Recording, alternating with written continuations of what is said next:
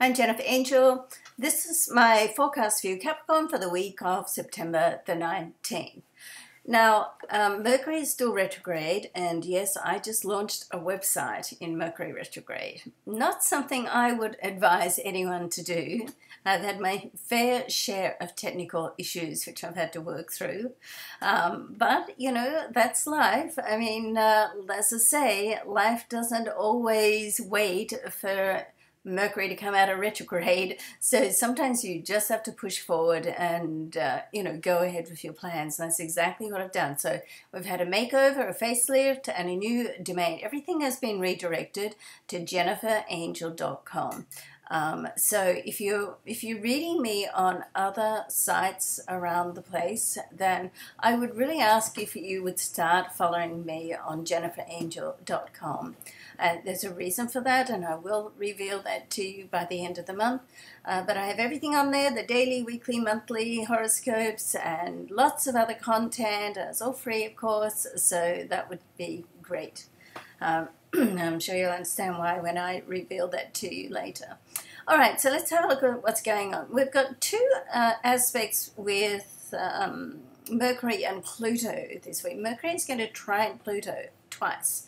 At start of the week, when it's retro, when it's uh, retrograde, it's going back at a um, hitting a exact degree with Pluto, and then after it comes out of retrograde, because it does come out of retrograde this week, hooray, and starts to push forward again, then um, it's going to hit that hit that exact degree again. So for for you Capricorn, or for us, I mean Pluto is in our sign, so anything that happens with this power planet can be quite, uh, you know, amazing and powerful, intense. Uh, and with uh, Mercury is a planet of communication and commerce. Uh, so and it sits in our ninth house. So it's almost like our our what we want to do on a soul level. Great for long term plans. Great for get, getting discussions about setting up things that are going to be good for us and serve us in the long term rather than the short term. Um, international business comes under here as well, as well dealing with just uh, different cultures on a personal level. Um, you, it, it is the area of truth.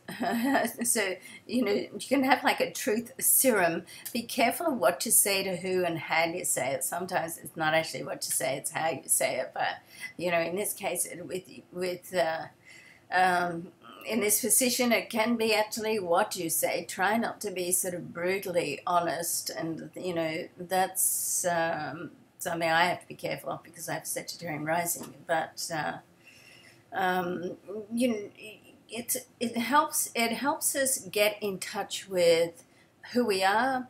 Um, what we want to say and how we want to say it. So it helps us to stand in our circle of truth.